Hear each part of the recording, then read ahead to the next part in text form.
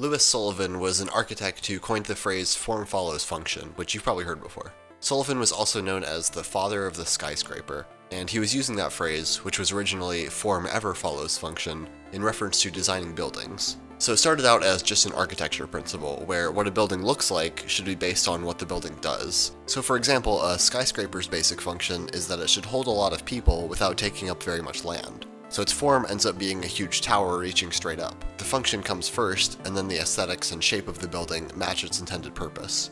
So then how does Fez follow form follow function? Well, the first way is by emulating old school adventure games. Fez is certainly not a point and click adventure game in the same way that something like King's Quest is, but it does have a similar feel to the puzzles. A lot of older puzzle heavy games like The Legend of Zelda or even something like Zork basically needed a pencil and paper to solve puzzles or get through certain areas. These puzzles required considering a lot of information at once, sometimes too much to keep in your mind, which is why people would write things down.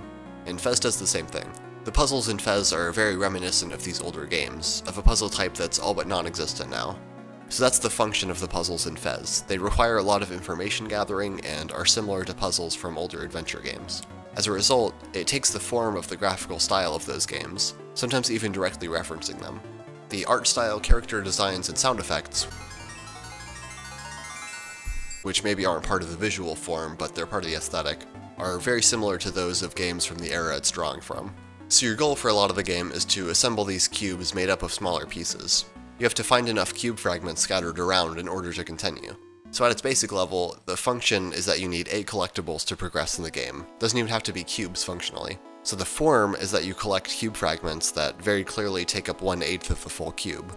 When you have 4 of the cube fragments, it's very obvious that you need exactly 4 more. This eliminates the need for a numbered counter or anything like that. And for one more example, the main mechanic of Fez is that you can shift the camera 90 degrees at a time. And when you do that, it actually changes the world. Wherever the platforms are lined up in two-dimensional space after you shift perspectives is where they really are. It's a little hard to explain, but hopefully you get the idea from seeing it if you haven't played it before. A side effect of this perspective shifting is that you often don't end up where you thought you would after changing perspectives, and changing back can actually move you somewhere else. So going back to form follows function, the function of this mechanic is that you can shift your perspective, and the platforms sort of change position when you do that.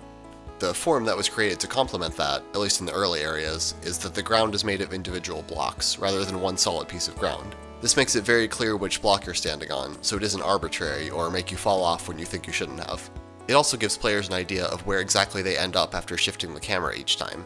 It can be a little hard to grasp, so that makes it easier to understand where they're moving each time the world rotates. It's important that people don't think mechanics are arbitrary or random, especially one that they'll be using the whole game. You can sell people on pretty crazy worlds, but as soon as the world feels like it's not internally consistent, it breaks that immersion. If you like this video, don't forget to subscribe, and thank you for watching this episode of Breakdown.